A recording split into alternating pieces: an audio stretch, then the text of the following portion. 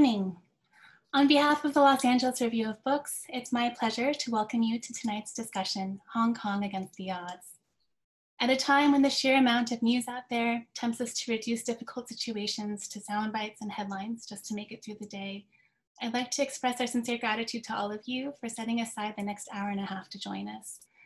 While this is the first such event on Hong Kong that LARB has hosted, the practice of valuing nuanced, well-researched and time-intensive takes is, of course, essential to the work that we do as a book review, magazine, and nonprofit literary arts organization.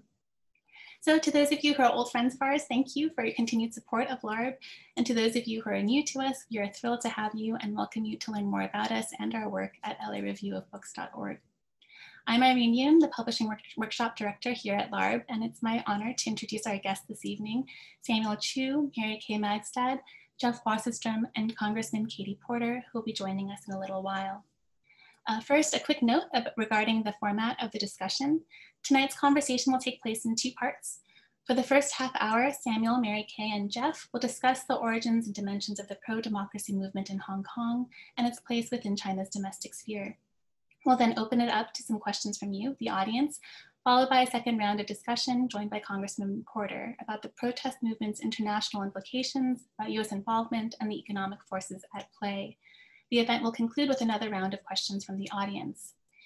If you'd like to submit a question, please use the Zoom Q&A function or the YouTube live chat. We understand that this is a sensitive subject that may elicit strong sentiments, but we do request that all participants keep their discourse productive and respectful. So without further ado, it's my pleasure to introduce this evening's speakers. Samuel Chu is the founding managing director of the Hong Kong Democracy Council, a DC-based nonprofit organization dedicated to raising support and awareness in the US and abroad for democracy and human rights in Hong Kong. Samuel's long career in activism started earlier than most when, as an 11-year-old, he went with his father to visit Chinese political dissidents that they were helping to smuggle out of Hong Kong in the aftermath of Tiananmen Square. Here in the US, Samuel was the founding president of One LA Industrial Areas Foundation, a broad-based coalition mobilizing local communities in Los Angeles to take actions on issues such as healthcare for all, criminal justice reform, and housing security. And he continues to lead local and national advocacy campaigns around issues of food insecurity as a national organizer for the Jewish nonprofit Mazon. Because of his work with HKDC, Samuel was unfortunately one of the first activists the Chinese government issued an arrest warrant for shortly after the implementation of the Hong Kong National Security Law this summer, which I'm sure we'll discuss further in tonight's conversation. Mary Kay Magistad is creator and host of the podcast On China's New Silk Road through the Global Reporting Center. In it, Mary Kay partners with local journalists on five continents to provide an in-depth examination of China's sweeping global infrastructure initiative and its impact and the impact its investments are having on the ground. It's a truly fascinating podcast, and the fifth of nine episodes just dropped today. So if you haven't listened to it yet, you have time to catch up before the sixth one comes out next week. Uh, Mary Kay brings to her podcast and tonight's conversation over two decades of experience covering China and Southeast Asia as an award-winning foreign correspondent for the Washington Post, NPR, and PRX's The World. During that time, Mary Kay opened the Beijing Bureau of NPR and was on the ground to cover, among many other things, the handover of Hong Kong to China in 1997. Congresswoman Katie Porter, some of you no doubt know as your House representative for California's 45th District. Many others still may recognize her from her tough and effective questioning of administrative um, administration officials and bank executives on the Hill, including, I think, today. Before her election to Congress, Representative Porter spent nearly two decades advocating on behalf of consumers and families as a, protection, as a consumer protection attorney, law professor, and California's independent watchdog against the banks in the aftermath of the housing crisis. And long before that, she had spent time living and teaching in Hong Kong. So we're looking forward to having Congresswoman Porter join us later this evening. Jeff Wasserstrom is Chancellor's Professor of History at UC Irvine, where he also holds a joint appointment in law and literary journalism. Jeff is the advising editor for China here at the Los Angeles Review of Books and the founding editor of the China Channel, a LARB affiliate dedicated to covering China's culture, society, and history and all the complexity. A historian of China and social movements, Jeff is the author of numerous books, his most recent, Vigil, Hong Kong on the Brink, offers a thoughtful and compelling synthesis of the historical circumstances undergirding this most recent round of demonstrations in Hong Kong. But as 2020 and all of its whatever the opposite of glory is, has more fully unfolded since its publication. I'm sure there's plenty more for him to help us tackle on the subject. Uh, and with that, I'll turn it over to Jeff, who will be moderating tonight's discussion. Thank you. Thanks so much, Irene. It's really been a pleasure working with you to put this uh, together. And it's a great pleasure for me to be reunited with Samuel and Mary Kay, both of whom I've done events with about Hong Kong earlier in the period. Um, Samuel and I were on a Pacific Council for International Policy event. Um, we met a couple of years ago at a very different stage in the Hong Kong story. And Mary Kay uh, moderated an event with me early in um, this year, one of those, um, which now seems very, very long ago because it was when we could have live events um, up in San Francisco with the World Affairs Council. So I thought to get things going, um, maybe Samuel, if you could um, talk about what's going on, what's going on now, the the sort of latest, the last year, a quick sense of what uh, you think of as the key things happening um, in the last year. And then we'll move back, scale back in time and place that into a larger perspective. But I think to just say, what do you think is key for people to know about what's been happening in Hong Kong in the last year? You need to, yes. Thank you, Jeff, and um, and thank you, um, uh, LA Review of Books and Irene and, and Mary Kay uh, for uh, joining and, and, being part of this. Um, I, I, this is uh, I, have I've been asked to try to do this, you know, in two minutes or less uh, to give like a explanation about what is actually happening. Uh, but I, uh, I I'm still not great at it, but I'll give my best shot. I think that for most people, when they see the headline in, about Hong Kong, they see sort of uh, pictures of these mass uh, marches and protests or confrontation between protesters and uh, police and arrests and, and other things. I think that um, it is very hard sometimes, I think, particularly for American public and, and media to be able to get deeper into the, the, the historic but also underlying causes.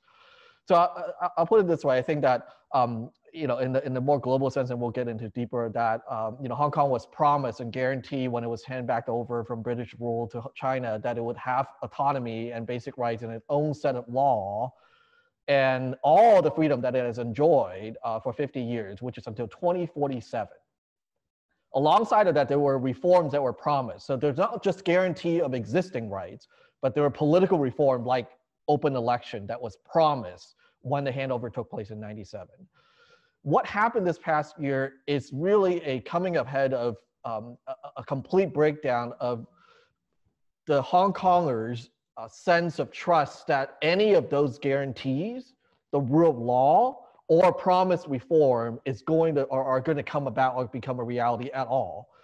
Uh, so a year, a little over a year and a half ago, actually, I was actually in Hong Kong. My father, who was on trial last year uh, for the role that he played along with other leaders for the 2014 umbrella movement um, right around this time six years ago um, hong kong government quietly proposed a extradition bill that would essentially say that uh, hong kong government would have an agreement with mainland china to transfer those who are charged under chinese law or you know sought for whatever reason and allow them to be extradited to be tried and um, in mainland China under mainland law. And this is not the first time that the Chinese government had tried to do this. Uh, this happened in 20, 2003. Half a million people showed up on the street and beat it back. This really became came to a head in, in June when it became clear that this could be used essentially as a method of crackdowns and, and, and silencing opposition. And so what we saw then in the Western or American news media is of the 1 million and 2 million people that took to the street in June was really a reaction to you promised us autonomy, you gave us this separate rule of law, this violates that. And so what you have then seen is that when that, um, the only really concession that were made by the government was that they suspended. So I think it's, it's key to remember that we did get a concession, at least partial, that they suspended that bill. But I think that what became clear was that as the protests continue and now lasting almost 18 months now, uh, is that there is a complete breakdown of the trust that the people in Hong Kong have on their own government. And so even as government has come out and say that they're going to suspend the rule, they've now banned large assembly, protesters have continued to take to the street because they see that if their government isn't representing them, um, they will continue to fight because there's a fundamental breakdown and fundamental lack of uh, accountability in the government.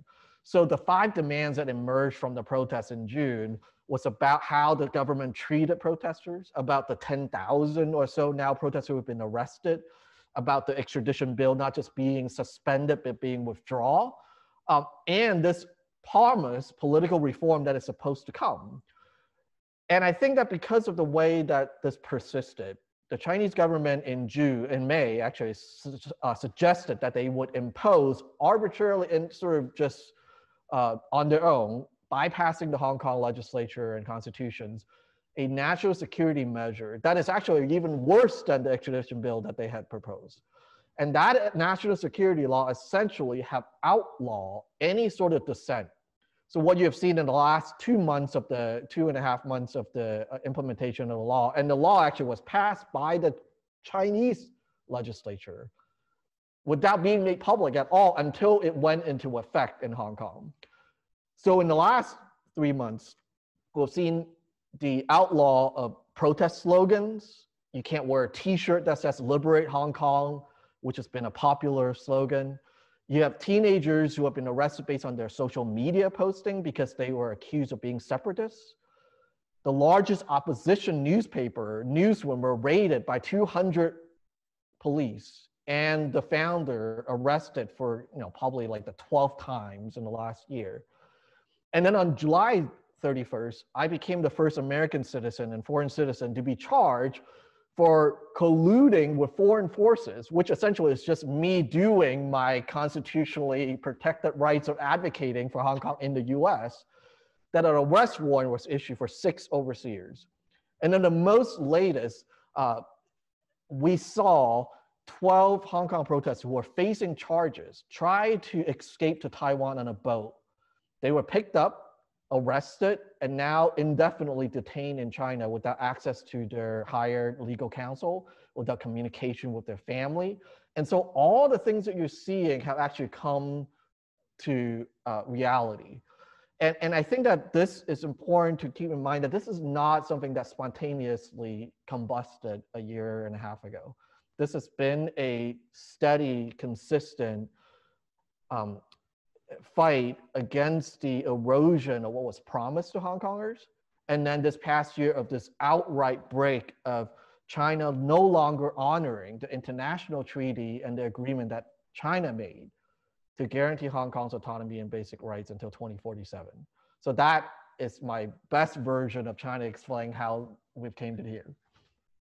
That's wonderful. Very, very clear on many things. And I think, can we take this back in time to fill in some of the gaps. Mary Kay, you were covering, you've covered Hong Kong, you covered the handover itself in 1997, and you've been, you spent a lot of time going back and forth between Beijing and Hong Kong. So what, what stands out for you as, as key moments in the past and even things that are sort of recurrences of things that you remember from, from the past that you're now seeing happening again?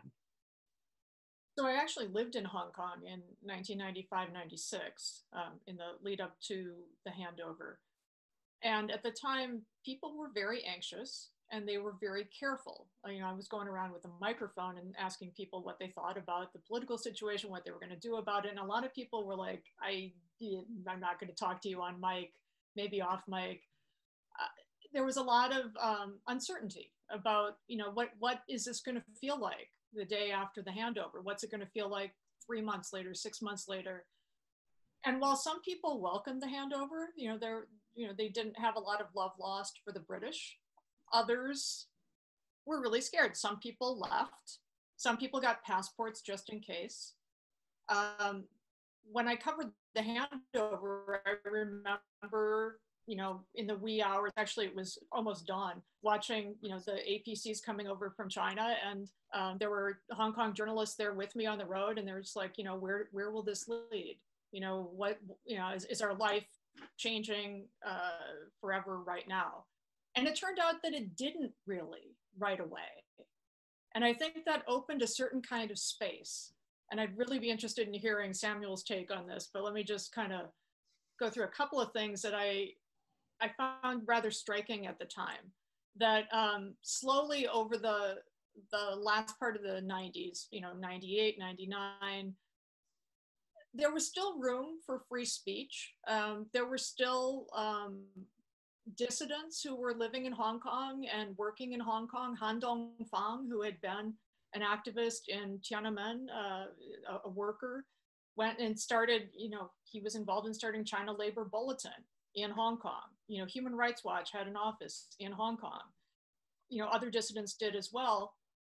And, uh, or not dissidents, activist groups, human rights groups, etc and and so i think there was to some extent a feeling of well if this space is here let's use it and we can relax a little bit and speak our minds and and say you know we have rule of law we have 50 years of having a separate way of, of living in hong kong and maybe we can set an example i think some people felt this i'm not sure that it was i'm not sure how widespread it was but an important cohort of the Hong Kong population felt it. But you know, let's let's make sure we protect this space. So then I was gone from the region for three years, and when I came back in 2003, it was striking to me how much more activated the population, a bigger part of the population was. So I was there in 2000, 2003 when there was a half million person protest on a very hot, steamy day in the middle of summer um, but it was so peaceful and it was families with their kids and older people. And it was just saying, we don't want an anti-sedition law, which had been proposed. You know, we have the right to keep our way of life here. Group came out again in 2004 when the regulation, when the law was um, proposed again. And again, they pushed it back. And in this time, a generation was growing up in Hong Kong that was seeing all this happen and thinking, we have the right to push back. We have the right to protect our space, our civil rights. And then in the in the next years, it, it was interesting seeing how this group of younger people, um, as as they came of age, as they became older teenagers and in their in their early twenties, were willing to be a little bit more assertive. And I think the police didn't really at first know quite how to deal with that. And I'm not saying, you know, violent or aggressive. I'm just saying, you know, that they were speaking up more and and you know, maybe asserting that they had a separate Hong Kong identity, something I wasn't hearing people say as much before. Um, and and this is precious to us, and we want to keep this.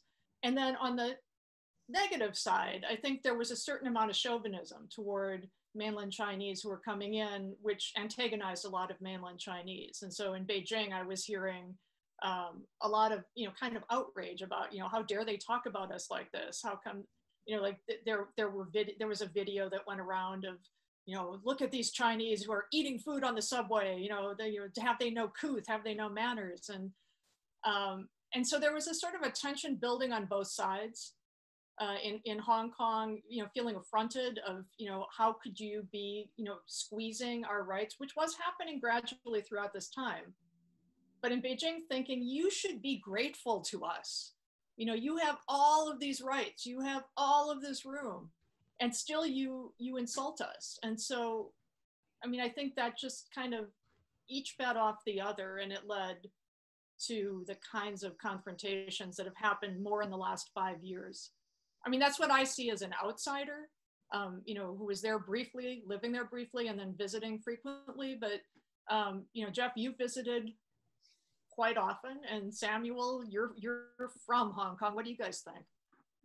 So no, I think this this sets a lot in in the picture that's very important. I think it's important to remember what an extraordinary experiment in some ways Hong Kong was that after the handover, there had never been a case of a city that was part of a Communist Party run country in which things were done so differently.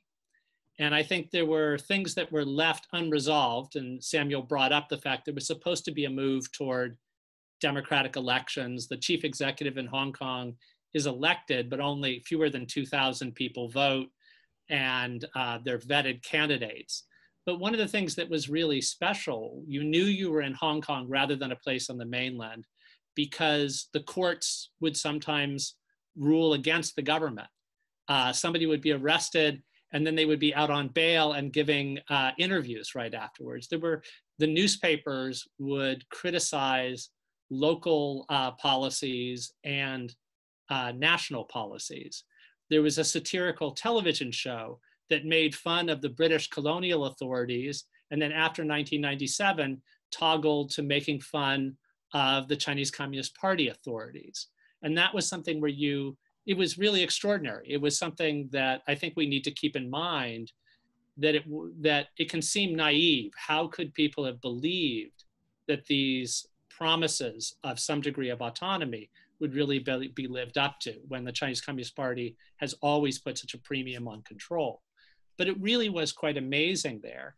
And they were never local people didn't take them for granted and pushed back when they were when there was a threat to them and achieved some victories along the way. In 2012, there was an effort to bring in um, patriotic education, a term that has recently come into the news in America in a disturbing way.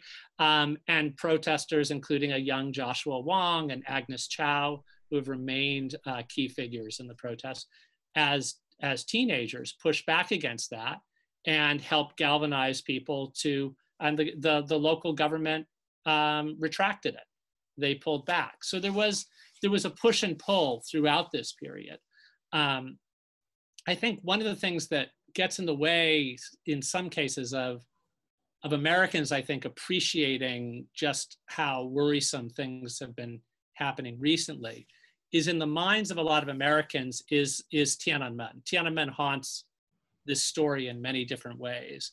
And what is remembered about that in, um, in the West is largely the massacre uh, early June. And there hasn't been a massacre like that. So when people would say, when I would talk about how I had studied Tiananmen and now I was studying the Hong Kong protests, one question would be, will there be a Tiananmen? By which often they meant, will there be soldiers firing on crowds in the streets? And I think what's, to get to the moment now, there hasn't been that. But there were a whole bunch of other things that were part of the Tiananmen repression, and a whole bunch of other things have happened. There have been um, massive numbers of arrests. There have been people fleeing into exile. And uh, in Samuel's own life, he helped his father with exiles from Tiananmen coming into Hong Kong.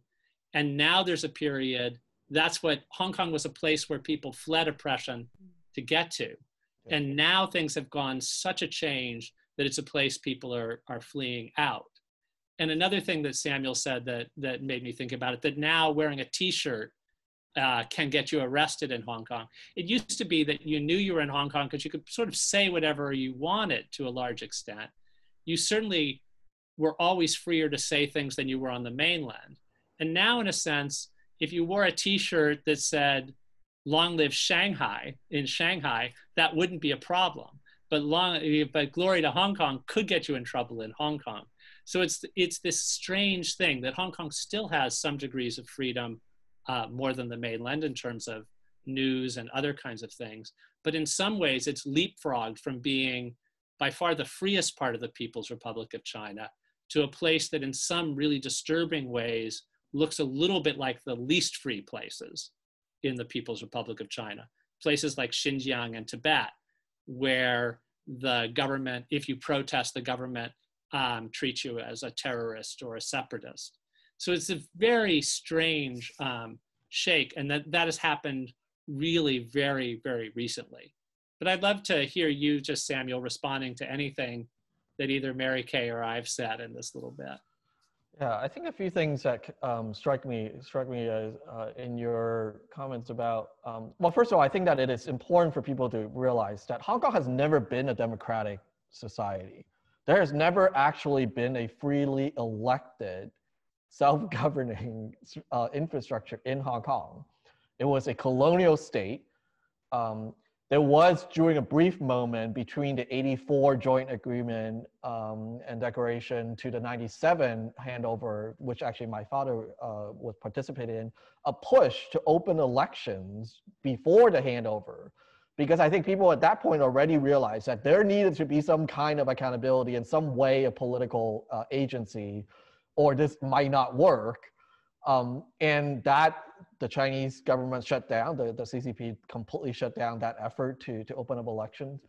Uh, so I, I, think that there is a sense sometimes that like, oh, let's go back to where we were. We're actually, this movement has never been about going back to where we were.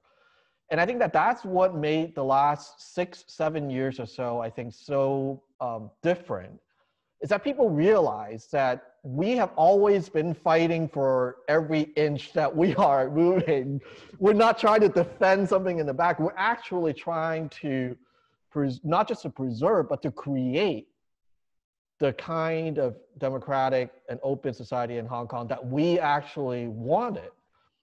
And so uh, when people fought for election in 2014, for example, and that led to Occupy Central, led to Umbrella Movement, it's not like we have ever elected our chief executive. It's not like that our legislature was ever freely elected. And I think that that's important because I think that at the end of the day, that I think was, is really at the bottom of this, is that the people fighting for political participations and political power uh, is at the core of it's not about just, you know, if you can wear a t-shirt or not, if you can, you know, uh, travel back and forth, the other thing that I think was important is that uh, the barometer for many years of how Hong Kong was different has to do with actually Tiananmen Square. It has to do with the fact that Hong Kong was the only place in China where they were allowed to openly remember and talk about and protest what happened in Tiananmen Square. And that happened from 89 continuously until this year in 2020, where for the very first time, the Hong Kong government banned the vigil that happened and took place for 31 straight years.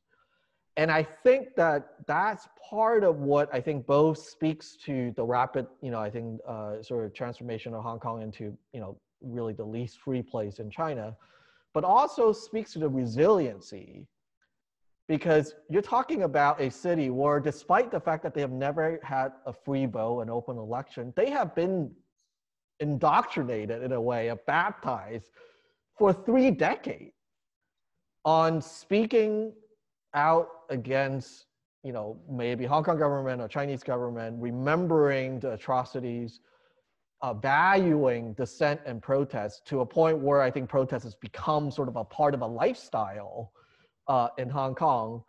So it's not um, surprising to me the resiliency, the creativity, and the staying power because this traces all the way back to I think what Benny Tai, who co-founded Occupy Central, is now uh, recently been fired from his tenure position in the university as a uh, academic activist. Say, you know, there are movements. It started in '89, it continued in '97.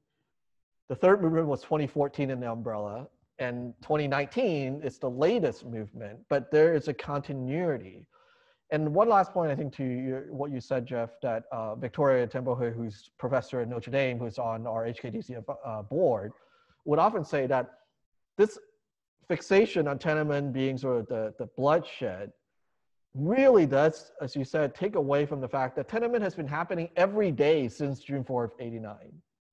People have been taken to jail, family has been held hostage, every dissident has either been exiled, convicted, imprisoned every day in every part of China since 89. And so I think that to, um, to really fully appreciate where this movement, this resistance in Hong Kong represent, uh, it's important to fill in that gap between 89 and 2019 because that's how you come to appreciate and understand the, the, both the, the, the, the challenge, but also the resiliency. So we're getting some wonderful questions, and I'm trying to think of how to bring them in, but I'll, I'll raise a few of them, and then um, you can choose which one to bring in or to answer, and I will too. Uh, one is where Taiwan fits into this situation. Um, and I think it's, it's very important because when Hong Kong was offered this sort of deal of one country, two systems, you can be part of the country but have a high degree of uh, autonomy, there was the hope that this would be something that people in Taiwan could look at and think of as a possible way of their integration in. And one of the um, banners that I remember very well from going over during uh, Occupy Central, the umbrella movement, was there was a banner uh, that was put up that said, um, Taiwan beware. Hong Kong today could be your tomorrow. Whereas when the deal was initially set, uh, Beijing was saying, Taiwan, look at Hong Kong. There today could be your tomorrow. And there's been a switch um, to that. So that's one question. Another question was um, what to make of the, the special role of youth in the protests. Um, that I think is significant in part simply because young people have more skin in the game with this. They're going to live more of their life after this 2047 moment when, when none of the promises, whether uh, upheld or not, will be, will be taken. And, and there was a question of what American protesters might learn from Hong Kong at a moment when our own democracy is in um, is is under such threat and and maybe more generally what I, will just say personally one of the things that i've learned uh, i've come to feel differently about the united states as i've been um, tracking hong kong so carefully was even though hong kong movement is described as a democracy movement often what people have often been fighting for is a separation of powers. And we've realized in this country recently how twinned those kinds of concerns are. Being able to vote and also having a separation of powers. And so those are three very big uh, issues. But before we um, bring Congresswoman um, Katy Perry in to join us, I wonder. If, Wait, is it Katie Porter and Katy Perry?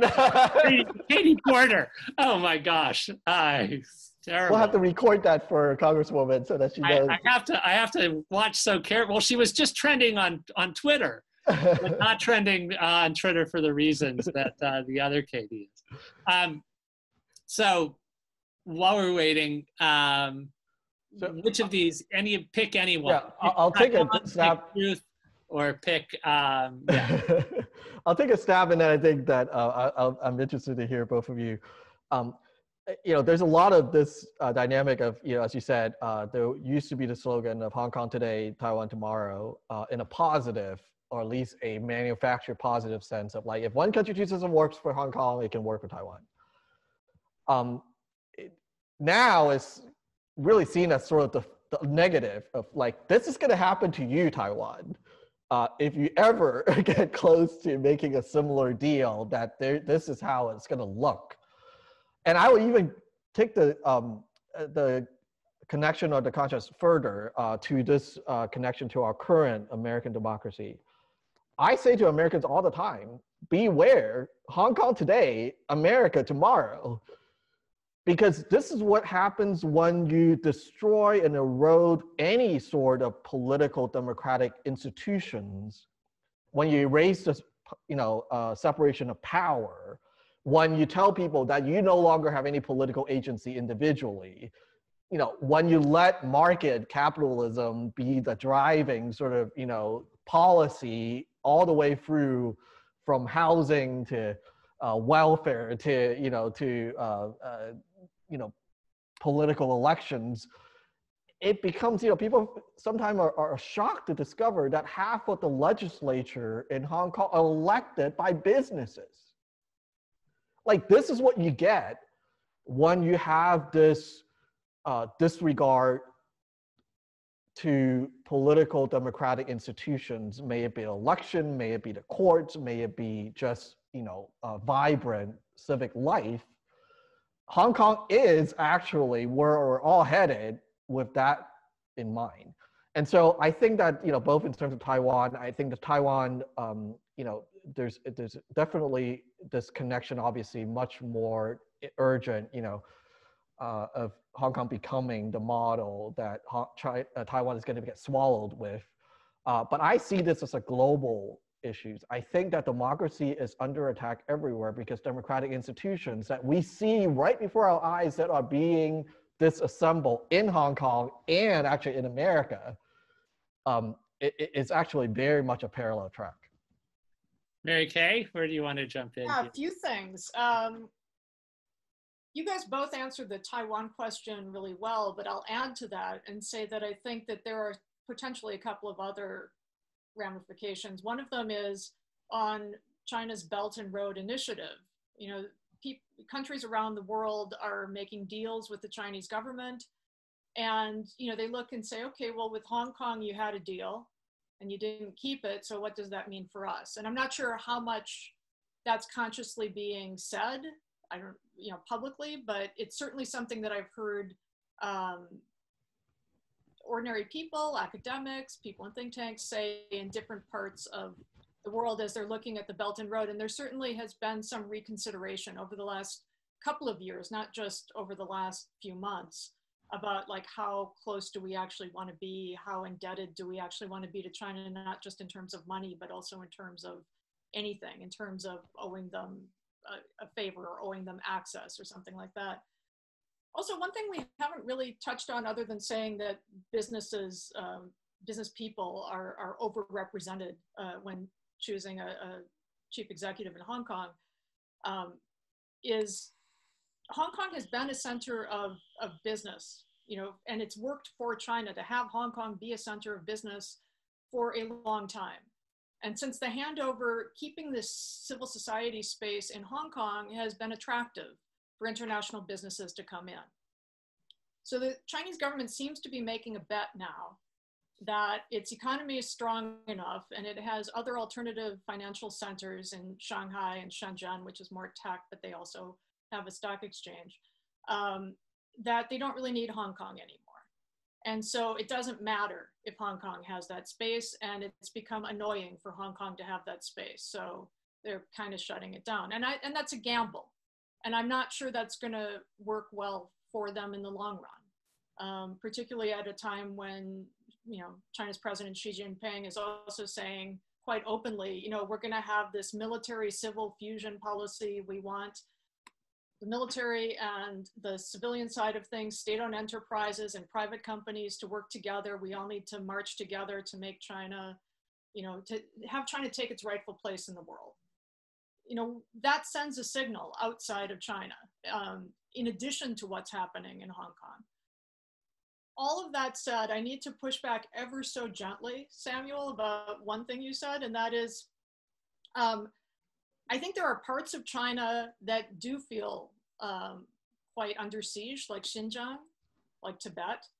Um, I have talked to civil rights lawyers in Hong Kong, in Beijing, who were abducted from their offices as they were leaving to go home to their families and you know kept in an undisclosed location and beaten up but for the vast majority of Chinese people, and I say this having lived in China for 15 years and having reported in every province many times, um, that most people just don't feel that. I think for most people, and this is, I think, how the government is able to continue to uh, have a, a, a, pretty substantial amount of support from the general population, uh, you know, that feels proud that China's economy is strong eh, or it has been up and you know this year hasn't been great for it but it's doing better than a lot of other economies um, and it's it's just an interesting set of um, trade-offs that i've seen people accept you know? I mean i live a comfortable life. I have a lot of conveniences through using wechat for instance. Okay the government's collecting a lot of data on me. I don't have anything to hide. I can't tell you how many times i've heard that. So um, I think that there's a there there isn't a sense in China that I get from that I have gotten from most people I talk to of we're oppressed. Please save us. It's you know you Western journalists you make a big deal out of these things, and some of the very people who say this then are surprised when they have problems down the line. Um, because the government is what it is, and it's it mostly leaves people alone until they do exactly what people in Hong Kong have been used to doing for many years, which is speaking their minds and pushing back when they feel that something is happening that's unjust. Um, so, you know, the government's sort of trying to squeeze Hong Kong now into that same space where you don't try to figure out where this where the edges of the cage are. You know, you just if, if as long as you don't push for the edges, everything will be fine. That's the deal they want Hong Kongers to accept. Actually, that that metaphor you use, Li Jiazhang, a writer who I um, enjoy reading, had this very metaphor of talking about, you know, Tiananmen made you aware of a cage, and then afterwards, the cage, if the bars get moved out further and further away, then it's much easier to imagine that that that you're free. And I think it is important to realize there are different ways of experiencing life in different parts of of China, uh, of the People's Republic of China. And I think it's also important to realize with something you were saying, Mary Kay, about the assets, the special aspects of Hong Kong that were assets to Beijing that became somewhat less important over time. Uh, the metaphor that's used for this has always been the golden, the goose that lays the golden eggs. And I think some of the what we we hear about how the Chinese economy has grown, so the special role, the contributing part of the Hong Kong economy, it's a less um, it's a less precious golden egg than it was in 1997 when there was no other um, developed city of this the same kind. But one of the things that I think the international community has to answer for, including the part of the international community I'm part of, the academic world, is we've been party to, in some ways, devaluing some of the things that were so precious in Hong Kong. And I'll give the example of universities. When Hong Kong became part of the PRC and the Chinese Communist Party cared about rankings, they wanted to have the best of things in the world. The only universities in the People's Republic of China that were considered first class were the ones in Hong Kong. Hong Kong, uh, the Hong Kong HKU, University of Hong Kong, Chinese University of Hong Kong, these stood head and shoulders above even the most storied universities on the mainland, like uh, Peking University and Tsinghua University. In any kind of rankings, because they had academic freedom and they had a kind of spirit of critical inquiry. One of the things that's happened during the last couple of decades is that the international community to some extent has said that institutions like um, like Beijing uh, Daxue and Tsinghua are considered first class. They're rising above the Hong Kong universities, even though they have constraints on critical inquiry, even though they have purges uh, underway, including now, of um, critical thinkers in fields like law and history. But if they have state of the art labs, if they have state of the art facilities, then even things like the Times Higher Education Supplement in the UK ranks them above the Hong Kong ones. And then, in a sense, for Beijing to clamp down on academic freedom and freedom of inquiry in Hong Kong isn't squandering a resource as much. I mean, it's a roundabout way of saying it, but I think there is a kind of global complicity in not uh, treasuring the things that would would stand out there. The same way that the assault on freedom of the press and, and the assault on journalists in hong kong is facilitated by the fact that there have been there have been attacks on journalists uh, in the united states and in other parts uh, of the world. So um, with with that i, I am going to um, pivot now to bring congresswoman katie porter into the discussion. And I want to say it's a, it's a really great pleasure for us to be able to bring um, the Congresswoman in as a special guest. We thought it was a great privilege from, um, from the beginning and then actually seeing, um, seeing what's been saying, very positive things being said about her, uh, cross-examination, uh, trending on Twitter right now, it's even more, more of a pleasure. It's also a personal pleasure because she is my um, she's my representative and i can say um, with direct experience uh, not from my own interactions but with people i know that she has a reputation here of being very responsive to local concerns being somebody who local constituents can go to with pragmatic problems or with their moral concerns and she's responsive and at the same time she's somebody who is very active in national concerns and we'll take the time to pay attention to global and international concerns as well. And so I think that's really a kind of modeling of political and civic engagement uh, that we need um, to celebrate.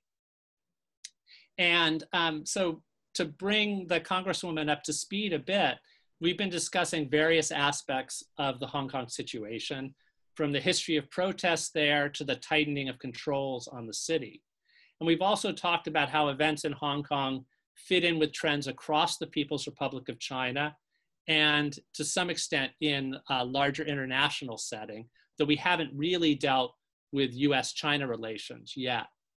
But to bring you into the discussion, I thought maybe the best way to start would just be to ask you to say a bit about what you find most concerning about the current situation in Hong Kong and often offer your perspective on how the American government has responded so far and could respond. So welcome, um, welcome to this session. We look forward to hearing from you. Thank you. It's so nice to see you, Jeff. Um, and thank you everyone for having me um, and for the very kind introduction, um, Jeff. And I want to thank the LA Review of Books and the Hong Kong Democracy Council for putting this event together.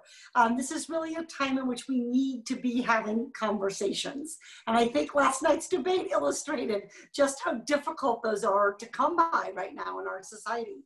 Um, so really grateful for you for facilitating this discussion. Um, you know, I wish there was an easy answer right now, um, kind of to what I find most concerning. Um, but there's there's a number of items um, and a number of things. Um, so I wanted to run through a, a, little bit of my own background and connection to Hong Kong um, to kind of set the stage. So when I graduated from college in 1996, I wanted to teach and I had taught middle school kids throughout my time in college. And so I was hired to teach at the Hong Kong International School. And I taught eighth grade math, which apparently nobody has ever volunteered to teach in the history of time. Um, but that was my number one choice, eighth grade math. Um, and when I went to Hong Kong, this is the sort of significant part. I graduated from college in 1996. So I went to Hong Kong for the first time in the fall of 1996 and then stayed through the handover the transition in 1997. Um, and that was a time that was you know, really, really interesting to be in Hong Kong in that period, um, both to see how Americans were reacting to it, but also to see both some of the hopes and anxieties of the people of Hong Kong at that time. Um, and then also the relationship of the huge expat community that's been part of Hong Kong's history for a very long time. Um, and somehow they were dealing with um, this change. Um, and so I think we would all, so it was a moment in which I think there was a, a sense of um, foreboding about what the future might hold, but kind of in the moment, it was really dealt with as a celebration, certainly by the Chinese, right? I mean, you will never see fireworks like that ever again. Um, it was truly hours. I love fireworks, and they were so long. I actually got bored. I mean, three hours in, I've seen it all, right? Um, but I think there was a sense of foreboding about whether what we were seeing in that moment was going to be the enduring relationship um, between China and Hong Kong. And I think that's where we find ourselves today is some of those concerns have come true. Um, and so you know, when we think about the national security law, one of the things that immediately jumps out to me is I don't think it's a coincidence that this happened at this moment. I think it came at this moment, not only because of things about Hong Kong and things about China, but really because of where the world is. Um, the United States is distracted importantly so, um, you know, really focusing on coronavirus. We have that, you know, very high death rate. We do not have this virus under control. We do not have a coordinated national plan. Um, and so, you know, I think Beijing understood that the United States is not going to be moving um, even really, really important foreign policy issues to the top of the agenda when we're dealing with both a huge national election and a, an out of control pandemic. And of course, the pandemic has affected every country, but I, I think there was an opportunistic sort of moment strategy here with the timing. And I think this illustrates a really basic truth, which uh, many of you may have heard about foreign policy. You can't have strength abroad without strength at home. And I'm not just talking about the coronavirus. I'm also thinking about our own fragile democracy and the degree to which we are having trouble defending, shoring up, and stabilizing some of our own democratic institutions. Um, and I think that also creates a kind of ideal moment for Beijing to take action with regard to Hong Kong. Um, and so I think what I find really concerning is this gulf between where we are as a country in America um, and where we need to be as a country in order to be an effective champion for human rights, an effective advocate for democracy, um, a broker of peace, all of these things. Um, we're not well positioned right now with our current leadership economically um, or sort of in terms of our, our social institutions to be playing that really, really important role. And that's not to say that Congress hasn't taken action or that we don't care about what's going on, because we, we do, and we have taken steps. Um, Congress blocked the sale of riot equipment um, to Hong Kong. We've condemned the national security law. We've authorized new sanctions. And I was proud to vote for all of those bills. But I will tell you, just coming to you from Washington, walking the halls of Congress today, there's a lot of walking in Congress. Um, walking those halls, this is not at the front and the center, right? And that's because our own domestic problems are substantial and severe. Um, and so I think we have to be honest with ourselves about, even as we've taken these, these bills, I think these bills are good. That's why I voted for them. Um, but these bills send, um, you know, they send an unequivocal message about our American values and our priorities, um, but they're not going to change Chinese behavior. Um, and I don't think we should be kidding ourselves about them. Um, they're sending the right message, they're making the right noises, they're not going to likely change the effective policy um, on the ground. And I think, if anything, the repression in Hong Kong is getting more intense as time goes on. Um, and I think you could say the same thing about the situation in um, uh, Xinjiang. I mean, it's just, it's, it's continuing to be um, a problem. So when you ask me about what I think about the response, you know, what I see in Hong Kong is a microcosm of so many of the challenges we're facing in US foreign policy generally. Um, you know, it's clear that China is a problem um, in many, many parts and pockets of the world, including in Hong Kong. It's a problem because we believe there are fundamental rights to freedom of religion, freedom of expression, um, and they're not on freedom of speech, they're not honoring those rights. It's a problem because China is the world's largest greenhouse gas polluter and we cannot meaningfully tackle climate change without their cooperation. And it's a problem because China has economic and military power that is, that is formidable, and they can use that power to create and to shape a less free and democratic world. And I think all of those problems with China are growing rather than receding. Um, and so I think that, you know, while these sanctions, um, you know, and, and increased defense spending, the kind of tools that Congress tends to reach for are important. Um, they're not going to be by themselves a solution. Um, and so I think first and most importantly, Americans have no interest in some kind of new Cold War. That's, that's not appealing right now to people. This is a time of domestic disagreement. Um, and we've seen domestic you know, rioting and protests over civil unrest, very important issues here. Um, and so to the extent people are inside the Beltway or trying to gin this up as a new Cold War, I don't think there's an appetite for that among the American people. Um, second, were, they, were there to be some kind of new Cold War, I think it would be coming at the expense of being able to have a meaningful dialogue and make meaningful progress on climate change with China. Um, and I think that is going to increasingly be an overriding goal of our foreign policy, including even our military policy um, explicitly. And so I think Hong Kong should be a lesson for us that the current approach isn't enough to change Chinese behavior.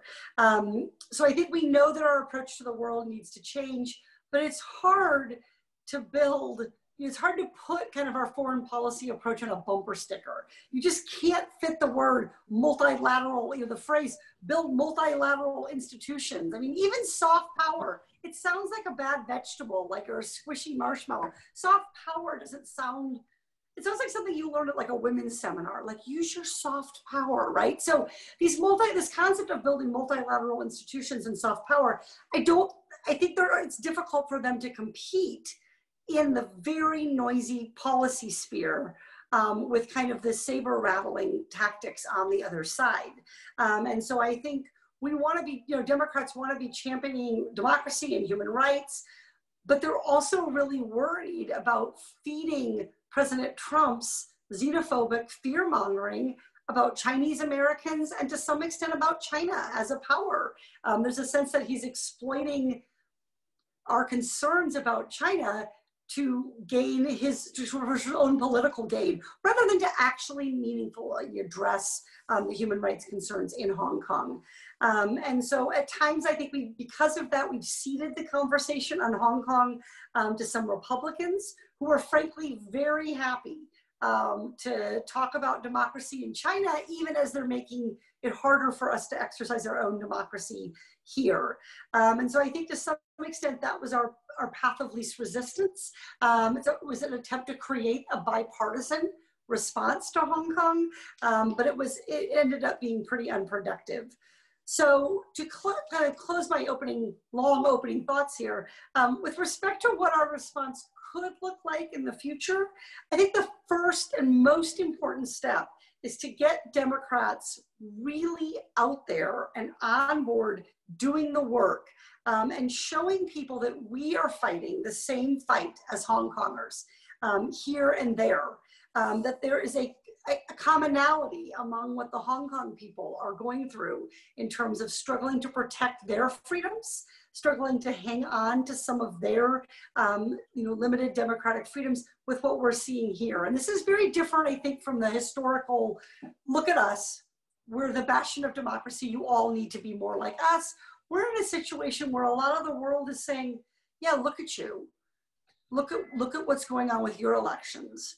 Look at, look at some of the human rights concerns within your own country. Look at the own, for example, the exercise of police power here in the United States and then you, you know to critique the Hong Kong police becomes a more complicated dialogue. Um, and so I, I think to sort of put a frame on it, that's how I really think about putting it in context here in a very noisy policy space in Washington. So that's that's really great. And one thing that's wonderful about it is you answered without knowing they were being asked a couple of the questions that came in from the audience, one of which was whether the Democrats had ceded to the Republicans the lead in this kind of um, that. I think you you you framed that that that very well. The only the only thing I would add, just because I'm a moderator but also participant, is that the thing that you do not want to do in this situation is praise an autocratic leader in China, praise them personally at the moment when there's a personality cult of Xi. That's one of the things that's driving the tightening of controls is the distraction of the world, but another is um, the need for a nationalistic leader like Xi Jinping to be able to point to things in which he's extended the reach and the power of Beijing. And so to praise his personal qualities, to say he's a strong figure who can get things done, is has been precisely the wrong signaling that's been coming uh, from the White House. But I'd like to get um, Mary Kay or Samuel in to respond to or ask questions of the Congresswoman uh, from yeah. here. Um, so, Congresswoman, it's great to see you. Um, and uh, I, I, just uh, quick, I don't even remember, but uh, we actually I, we first met when you became actually the week before you became the inspector for the California uh, uh, settlement with the banks. I hosted you actually in Pacoima, Los Angeles. Do you remember this? I do. Um, and we, we were we were in a church, if I recall right. Yeah, we actually went to a couple of different places. Yeah, and we, we yeah. showed you some of the cases of the mortgage modification plans that we had been organizing yeah. with families. And and it actually, I, I, I, I will always remember because you actually had not taken the job. You were not on the job yet. You came before you took the job to come and, and visit with our families that we were working with uh, that were in foreclosure and, and this I think ties into uh, kind of where I am as uh, you know uh, as a person who um, have looked at both. I'm so glad you said that, by the way, Samuel, because for about the last 15 minutes, I've been trying to place you. So the person on this call that I was like, oh, I might recognize him from around the neighborhood was Jeff. So I've been trying to place you for like the last 15 minutes. So thank you for, yeah. for clearing and, that up for me. I, I, like, I, had, I, will always remember, and um, because I mean, how eager and, and just available you were. and I, I tied, you know, I bring that up not just to, um, I mean, just to help you solve your 15 minute mystery, but to also say that um, one of the things that in learn, you know, I've been an organizer for domestic issues, and now for the last, you know, really a few years, it's been on Hong Kong because it's a personal issue to me. But in the economic crisis and great recessions, uh, in the foreclosure crisis that we were both involved in, in helping dissolve, what became clear to people was how rigged the system was. It was sort of a revelation to people that, wait, what do you mean that it didn't just happen overnight? Right. And, and I think that that, in a way, was the, was the most powerful uh, exposure people had to why democracy matters. The democratic process matters because you can actually figure out a way to hold them accountable, to stem the problem from continuing, and to restructure the system, um, you know, to reform the system in a way that is permanent. That, in a way, is a parallel to, you know, before you joined, we talked a lot about how Hong Kong, in the last six years, became clear to Hong Kongers that the system was rigged against them fundamentally. And you know, in a lot of ways, they were much more focused and narrow in the fact that they didn't have any political agency and didn't have any political rights under the current system, and now has actually even have what little they had have taken away.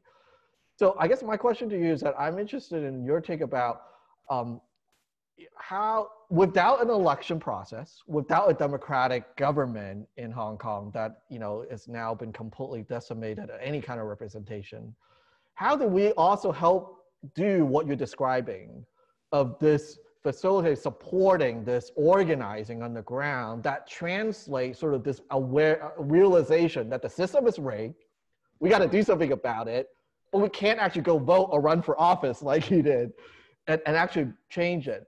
I think there is a sense of stuckness about what is the next step. How do we connect this discontent, this despair, and this uh, anger around the system being rigged to real transformation, particularly in a oppressive, authoritarian state now in Hong Kong? Yeah, no, I think it's a wonderful question, and you know, I I I've thought a lot about um, actually the connection between consumer protection, which is my background. Um, and freedom of expression, which maybe are not the two things that people would put right next to each other as so i had a conversation the other with david kaye who's just retired as um, the un special rapporteur on freedom of expression. And one of the things that we talked about is when i've done some consumer protection work in foreign countries one of the things and the example here i'll give is myanmar. One of the things I came away from spending time there trying to help them to build and implement their consumer protection law was what they really needed was Yelp. In other words, they really needed a way to complain and, and, not be silenced, right? And to organize and to share information with each other. Um, and I think that, you know, there are multiple ways that we create power um, and move power socially. And obviously, democracy and voting um, is one of them. I think actually there are some lessons that a lot of Americans are asking themselves about, you know, look at the fragility of a democracy, right? Um, with 2016. Um, you know, we elected my class in 2018 saying we're gonna, you know, this will, great, like this will be a check. And yes, we have been a check in some ways on the Trump agenda, but in other ways, foreign affairs being a really good example, we haven't been able to, to be much of a meaning, to meaningfully redirect. There's a lot of presidential power there.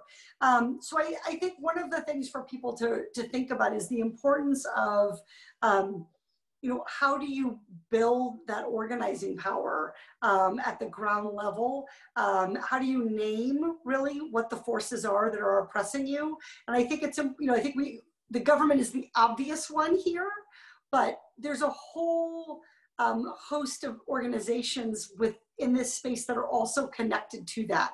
Um, the higher education system, um, some of the corporate, the corporations that are there. I mean, these are also powerful forces that are that are um, exerting control, right? And and so I don't know if I have a good answer for that, but I I do think that um, you know you can if you let this kind of situation fester, you can actually lose the energy and the spirit of a whole generation or more of people. And it's not easy to get back, right? Um, and so I think it's really important that we stand up for Hong Kongers now, um, that we nurture um, their concerns, that we amplify um, their concerns, um, and that we don't see it, that to, to xenophobia or, or pushing against China, but really standing up for the rights of Hong Kongers, right? Um, and so I think that's one helpful way to approach it. Mary Kay, do you want to bring through it? And say, because um, because as you were speaking, Samuel, I, I was my my mind went to like if you're in a society where your your rights are being squeezed, and there isn't a clear path forward to a situation in which they're not being, as long as Xi Jinping is in power. What can you do? And I think you can actually take a page from Chinese online over the last decade who have found extremely creative ways to express criticisms, to be snide and sarcastic and satirical. And, you know, satire and humor um, in, in, in the East Bloc, you know, in the, in, when the Soviet Union still existed and in China over the time that I was there, plays a crucial role in keeping people aware and in keeping people on, you know, kind of an, you know, keeping people sharp, thinking what's really going on around me and sharing that with others. And it also creates a sense of community uh, or, or sustains a sense of community. And I think in China, there was a real high point in like 2011 when the high speed train um, crashed and, uh, you know, there was this outcry on social media that was so great that the Chinese government was like, holy heck, we need to shut this down. You know, we know where this is going. Um, but there's a lot you can do beneath the surface. And also in China, you know, over the course of the time I was there in the, you know, 2003 to 2013, as long as police were still publishing each year how many protests there were, they were in like high tens of thousands, over 100,000. You know, one year, I think it was 2010, it was like 180,000 protests. So there actually is room for some protests, but I think at the moment, the government's hyper vigilant because it's like, you guys all want to separate. We can't let you do that. We've got to just keep squeezing you until you stop doing that. And then once we think you're loyal, we'll let you have some of the little protests that you used to have, which weren't all against China, right? You know, the Hong Kongers have been protesting all kinds of things over the course of the last 20 years. Um, so, I mean, I think part of it is just play the long game and use all the tools you can. Um, and not all of them are like a direct, straight on confrontation with, you know, the highest leaders in China, but they can still kind of get you to a place where you, you preserve some of the space as much as possible of, of what Hong Kong has had.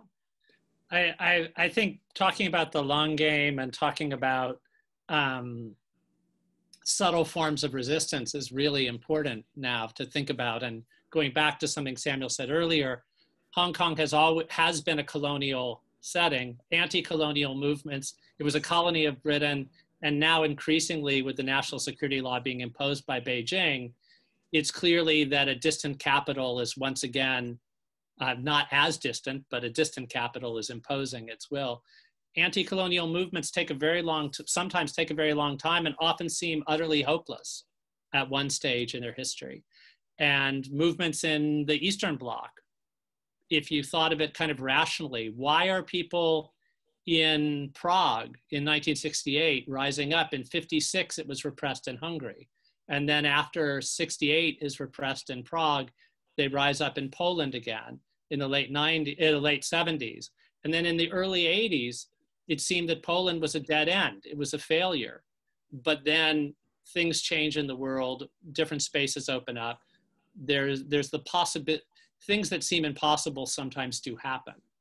I, I don't think that there's an inevitability about where the arc of history bends, but to try to keep bending it in the direction you want, even when it seems it seems um, impossible. There was there was one question um, again about one question was about the awkwardness, and I think Samuel maybe would be good to ask this to answer this. What is it? How does it feel when you're a Hong Konger fighting for certain kinds of things, and your allies are people who often have, you're a progressive on many levels, and the people who are your natural allies are often um, regressive in their policies uh, domestically. But before before I have get your response, I just want to say because um, the congresswoman brought up the difficulty of having um, civil debate on anything in America right now. There's a model of wonderfully civil debate in a recent issue of The Nation magazine where Wilfred Chan and Jeffrey Ngo, who are at different wings within the Hong Kong struggle within the United States. Jeffrey is somebody that Samuel works with closely. Wilfred is somebody who's much further along on the left. And the two of them have this exchange about whether American support should be sought, whether you find alliances with people you disagree with on many things. And what's, what's beautiful about it, it's really beautiful, is the two of them clearly have so much respect for each other, even though this is an ongoing disagreement on strategy and tactics. And so I just think it's something I look forward to teaching just as a model for the kind of debate that is a real debate in which each person has the potential to be influencing somebody else. But I, would like to get your response, Samuel, and then we can bring the Congresswoman back in as well. So when I first met the Congresswoman in the, in the in that um, time when we were working for mortgage, uh, I was uh, working uh, with families who were underwater in their in their uh, mortgages, and we eventually got a 25 billion dollar uh, settlement from the banks.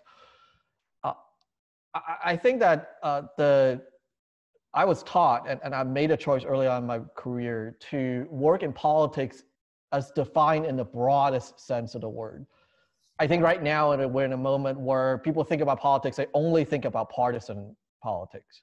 They may think about electoral politics, but I have, even before working in Hong Kong, has always believed that my job as an organizer, as an activist, or whatever you want to call it, is to cultivate political people in the more pluralistic, diverse, complex sense of the word. Meaning that I want people to understand that they themselves have more than one interest.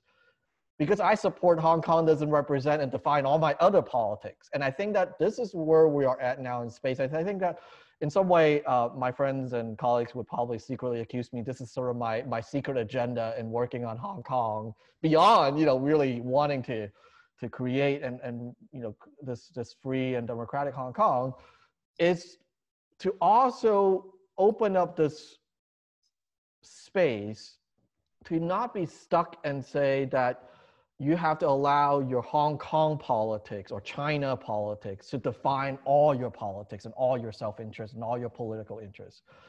It is not a secret. Prior to this, I worked on anti-poverty, uh, mostly food insecurity policies. Um, I before that I worked on gay marriage uh, and helped to secure the the, the rights for gay uh, um, individuals and families, uh, both from marriage to adoption to all the other things. Uh, and and it's not a secret that I think uh, for me, the so-called awkwardness for me has to do with a more vibrant democracy. I have no permanent enemies and permanent friends because in the democratic process, um, as you can tell, I'm well trained by Saul Alinsky. Um, uh, you know, I came out of the Chicago organizing tree, and, and, and I was taught that building political power and being able to build and, and embody sort of democratic values does not mean you are a narrow partisan or a um, person who only works with one group. What does that mean, though, is that I found myself quite frankly, in a lot of places where I have, I'm in relationship working with people on one thing where I disagree with them adamantly on others. And having that relationship allows me to do that, right? I mean, that's the good part about this is that if I'm never actually examining our shared interests or where we might be able to make some compromise, then I'm never able to actually confront people on places where we do differ and and I think that that's part of where I think what and I, I, I do think we're in a little bit of a danger here of everything at this point being scooped up with politics being defined by partisanship and not negotiation, deliberation, self-examinations, and compromise. So I think that's that's partly where I am, and I think that um, the Congresswoman is a great example of this of uh, connecting the dots between domestic. We should never be afraid to speak about the fragileness of American democracy, because that is part of the, the, the strength that we draw from to speak for Hong Kong in America. Samuel, I, re- I really like that point about um, kind of, you know, honoring, I guess I would say, the fragility of democracy um, and understanding that as an American strength. Um, understanding that it's fragile because it requires so much of each of us, not of me, elected official, not right, but of each of us. And, and that makes it both very, very strong, um, very, very resilient, maybe is a better word, and yet very, very fragile. Um, and so I think, you know, when we talk about working across the aisle, you know, it's very clear that the American people, when you poll on this or you talk, everybody loves this concept. Then you do it, and they're like, I can't believe you could ever have a bill with so and so, right? So I, you have a particular bill with a particular Republican member, uh, Dan Crenshaw. I don't have a lot in common with Dan. Okay, that's the understatement of the century. But we're working together to crack down on scam PACs. And that is the right policy for the American people. Um, and so I, I think you do learn I mean, part of being able to negotiate effectively for what you believe in is having a good understanding of alternate perspectives. And you get that from having those those moments. So I think, I think, you know, there's a big difference from what we've seen in Congress to return to Hong Kong to a minute, for a minute. What we've seen in Congress, which is, you know, bipartisan bills, an effort to, to kind of return to stating collective core principles and sort of the saber rattling of the Trump administration, um, which I think is, is really more about Trump's self-interest than it is about advancing the situation of Hong Kongers, um, right? So some of that I think is is more about, you know, feeding into his um, narrative about American military might, um, and not understanding that there are so many ways in which the largest threats that China presents to us aren't you know, traditionally military, right?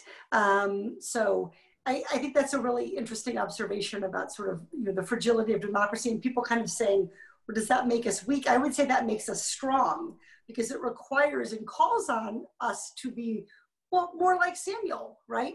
Little like little p political, right? Um, in that kind of broad way that you were describing. So I'd like to have uh, ask Irene to read off some questions. We've got a lot of questions um, coming in. Um, so do you want to hop in and read some out so that we can try to, we're nearing the end, but we want to get some of these in. Sure. Um, so it looks like um, there's a question from Madeline Sue.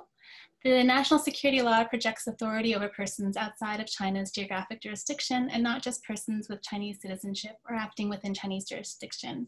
How likely is the Chinese government to pursue extraterritorial prose prosecution of non-Chinese citizens uh, critics and protesters. And I would imagine Samuel maybe might be a good well, question. I, I will quickly you. just say this. I mean, I think uh, I, I uh, when I woke up, actually, I woke up from text telling me that I had a arrest warrant. Um, I ran into uh, Mr. McGovern, um, uh, who has been a champion in Congress for us last week in, in DC, and he was like, just stay close to the US, uh, don't go to China, uh, because that's probably not a good idea but all joking aside, I, I, think that here's where I think we see some of the traditional tactic that CCP uses, which is I think leveraging sort of the threat, not just of you know limiting my travel is not necessarily going to be a big deal, but you know my family lives in Hong Kong. I think that's a big part of this. Uh, but to your question, I think that that is what the intent is. I think that uh, what China, I think authorities saw this past year is the vibrancy and the creativity, not just on the ground in Hong Kong, but overseas the fact that we were able to build bipartisan policy to go through Congress in a time like this to get support of the Human Rights and Democracy Act, the Protect Hong Kong Act, the Autonomy Act, and actually get those things done in a bipartisan way, really, I think, woke up the Chinese authority what they said, we can't just control them here. we have to somehow try to control them over there. And so I would say that I'm not waiting for a knock on my door. I've been reassured uh, by State Department, and uh, and we have not seen any legal paperwork. Nobody has said that Interpol has not been contacted. There has not been a red notice. But I think that what it is trying to do is to say that we are going to test out how far we can go, especially when you know we have shown that uh, Chinese government has not been shy about taking hostages, literally, of foreign citizens in China. And so I think that they're trying to test out, and I think that the way we respond and uh, to to these threats are going to be uh, case by case, are going to be meaningful. Uh, it shows the Chinese authority and it shows people in Hong Kong and the Hong Kong authorities that we're not going to sort of back down just because we're not paying attention. Think another thing that's important to keep in mind with what they're doing with you, Samuel, is um, setting an example. And, and, and the Chinese government does this within China all the time, where you, you do something where they're like, and we can, we can do this. And not necessarily just for people born in Hong Kong, but under the national security law, they could charge anyone with committing what they consider a crime in China you know, in the United, if, if you do say something or do something in the United States or in Britain or wherever you are, and then you go into Hong Kong or China, you could be arrested. I'm pretty sure that the congressmen who voted on those bills have violated all the uh, uh, provisions. And so um, I, I, I, did actually, when they came, uh, the reporter asked me how I feel about being wanted. I said, I will lead them. If they come arrest me, I'll lead them down to, uh, to Congress uh, and they can arrest every member of Congress who voted for the Human Rights and Democracy Act. For throwing us under the bus, Samuel. uh, great. Well, so we have uh, maybe two questions that we can kind of think about together. Um, so one of our attendees has asked, how would you define the political leanings or affiliations of the Hong Kong movement as it stands? Leftist, centrist, some other definition or imagination of political beliefs. Um, and maybe relatedly, um, there have been some criticisms of the Hong Kong protests not being representative of or led by the most vulnerable communities in Hong Kong. What material benefits does this protest yield for lower class and marginalized folks in Hong Kong?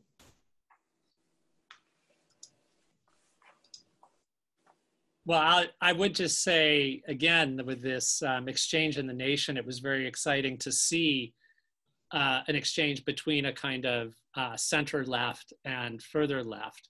That the fact there is discussion going on there, I think, is very important. And there are ways that you can get access to the different wings of this discussion in English language materials. The Lausan Collective is a group of um, commentators who are pushing for more class solidarity, more emphasis on building unions, more emphasis on uh, the socioeconomic kinds of issues that whereas we often get the voices of the the part within the movement that are more of a kind of classic focusing on um, human rights and electoral uh, democratic issues. So you have access to that um, through through through these debates. So i think there's a range.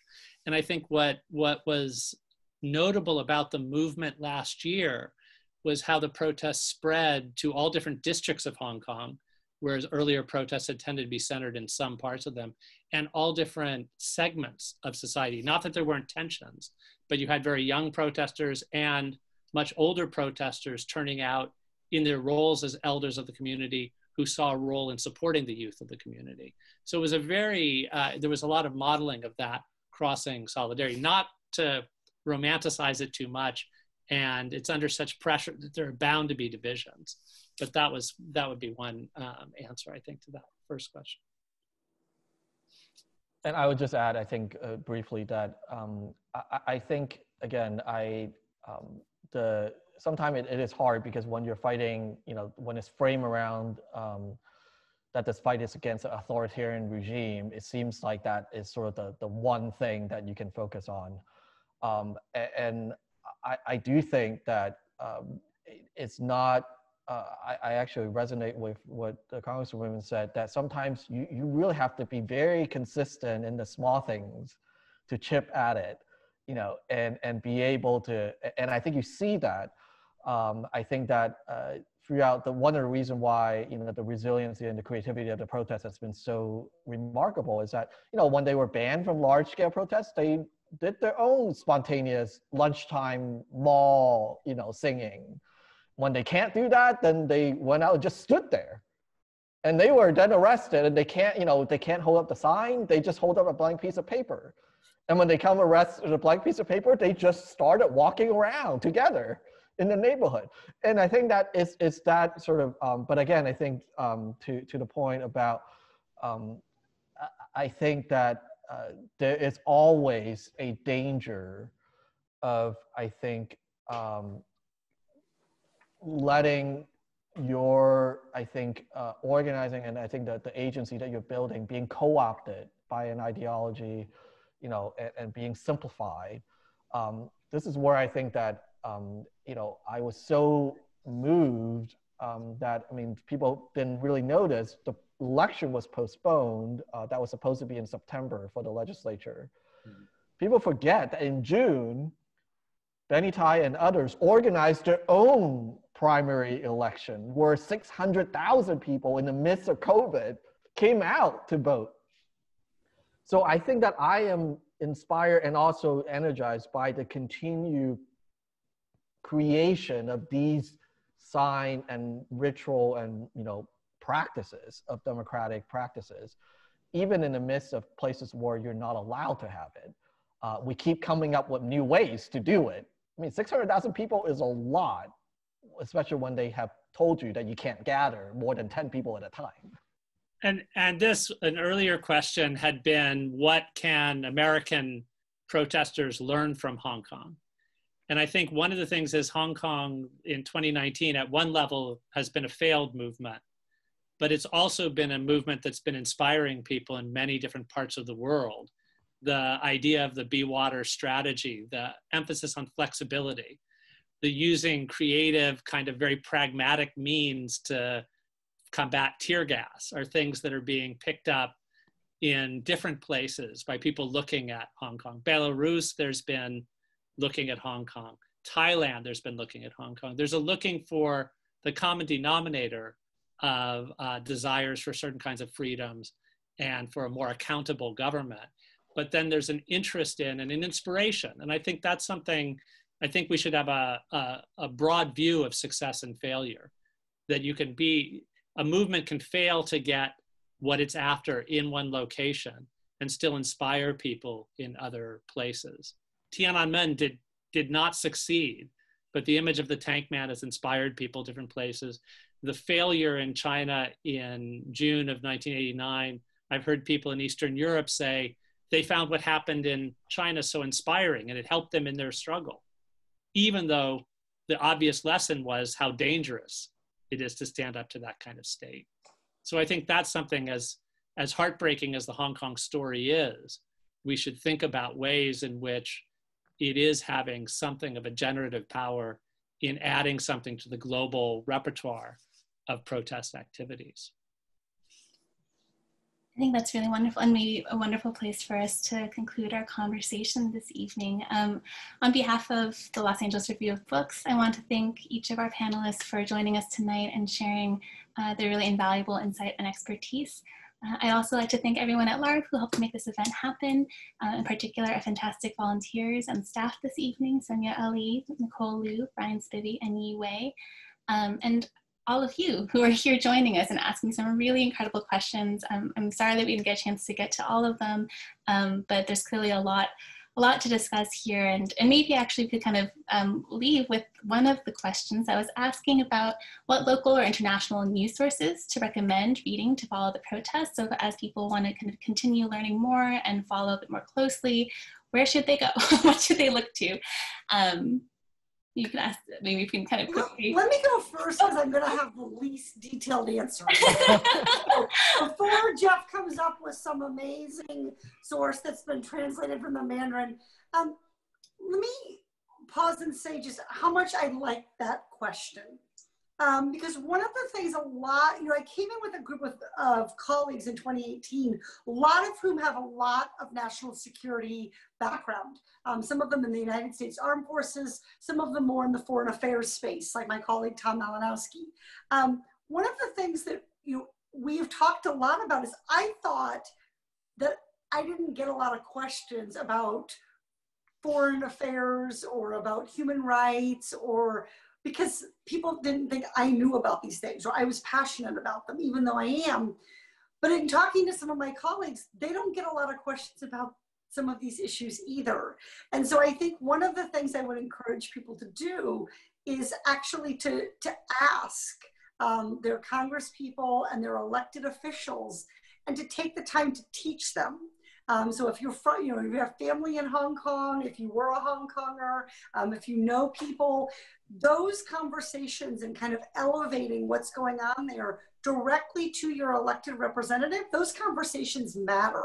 And so one of the things that we've really, you know, struggled with in our offices you know, how do we get people who are so concerned about so many issues right now domestically to also understand our role in stabilizing and improving the world. One doesn't go away as the other um, kind of rises, right? They exist in in, in, in tension with each other. So um, I would just say that I encourage people to recognize their their own selves and their own stories sometimes as a really important source of information for those of us in elected office. And I, I, would just piggyback on that because actually um, I did not ask Congresswoman to, to, to, to bring this up, but um, Mr. Mar- uh, Malinowski, actually, we're endorsing a bill that he uh, wrote, uh, introduced today, actually, uh, that will provide some protections for Hong Kong protesters who are under uh, threat for charges and arrests. Uh, and, and that's a great example of, of really creating this pipeline information, um, not to, because I am biased, one of the reasons that we heard for many years on Capitol Hill is that we don't know, even lawmakers don't really know how to vet the news that were coming out from Hong Kong and China, not just because of the language differences, but because of, you know, really um, the, the challenges of just knowing who to listen to and, and who, how to decipher. And so one of the reasons why we actually created HKDC last year in the first place was that we wanted to make sure that we have at least some way of vetting and screening the information we now pass on information on a regular basis to members of Congress, we can do better. And I think that we need to do better. And this is actually true of all the places where um, we're talking about the unrest domestically and internationally. I think, and, and, this is something that I am inspired by, I think what you said, it is hard to put multilateral um, institutions on a bumper stickers. Mm-hmm. It is extremely important that we look forward to creating not just government multilateral institutions, but grassroots multilateral institutions, because some of these things like news sharing, news reporting, and documentation what's happening on the ground is that kind of institution that is needed. And so we're going to do our best uh, at HKDC on our website, on our Facebook and social media to continue to feed and try to translate both culturally, politically, and linguistically um, and, uh, and I think that Jeff and others will probably have other sources as well, but I think that that is a task I think was really essential uh, role that we must play. And, and, and, and um, we're actually, um, since you mentioned it, we're sending out a survey to all, not just current office holders, but candidates for all 470 uh, members of Congress up for re-elections in November 3rd, really to ask them to you know, state some of their stands on Hong Kong issue, but really, as you said, to educate them, to for, you know, to really make uh, their team and their offices to think through uh, the implication of what's uh, is happening in China. So that is something that we're doing right now, and so I think that that's another great point. So I would just say uh, there is the Hong Kong Free Press, which is a um, which has been doing yeoman's work and putting reporting from the ground. Quartz has wonderful reporters on the ground in Hong Kong. Um, very one that you might not think of immediately. The Guardian has just been running a good series. The Nation and Dissent magazine for deeper dives have started um, to be periodicals on the left that have been paying um, more attention to Hong Kong. The New York Times has some very good people, including Elaine Yu, who's a Hong Konger who's beginning to um, get more bylines um, there. The Los Angeles Times, I um, you know got to stick up for the the local team, has been has good reporting on um, on Asia and has um, you know there could always be more, but it's carried some very good pieces on um, repression different parts of the PRC, including um, the Hong Kong story. So those are those are some of the places I would say um, uh, initially. NPR also does does good work. I'll throw in a couple as well. Um, for not just Hong Kong, but also coverage of China, and it brings in a lot of different views. Um, China File, which is put together by the Asia Society. It's just a great resource for learning your way in more deeply into a lot of different issues, including those that affect Hong Kong, even if they're not directly about the Hong Kong protests. And if you really want to take a deep dive, um, Sinocism, that's with an S-I-N, OCISM, which is put together by someone named Bill Bishop. And that goes very deeply into a lot of what's going on with internal Chinese politics, which directly affects how policies are carried out in places like Hong Kong. Wonderful. Well, thank you all again so much um, for also humoring my secret last question um, there and for joining us this evening. Um, this is really, really wonderful. We, we appreciate it so much. Um, and again, thank you to all of you who've joined us this evening um, and all of you who've helped support and make this event happen. Um, that goes beyond the staff and the volunteers that we have tonight. We rely on the support of members, donors, and engaged readers like you to keep us publishing new essays and reviews daily without paywalls and providing uh, free public programming like this. So thank you so much to everyone who's um, been a supporter and to all of you for your interest and participation tonight. Um, just a, a, last announcement, this event, as many of you may know, is part of our celebration of Banned Books Week. So if you'd like to support us or join us for additional programming and perks, we'd love to have you join us in the following ways. You can become a member, you can check out the podcast, books, and essays we and some independent bookstores that we partnered with have curated for the occasion make a donation and get a LARB Banned Books reader. We've put together a really great anthology of some of the best essays and interviews from our archive, tackling issues of censorship and free expression. Um, but, you know, most of all, we're just really glad that you came and participated in this conversation and had great questions. And thank you again to all of our speakers. Uh, that concludes our program for this evening. Thanks for joining us, and we hope to see you all again soon.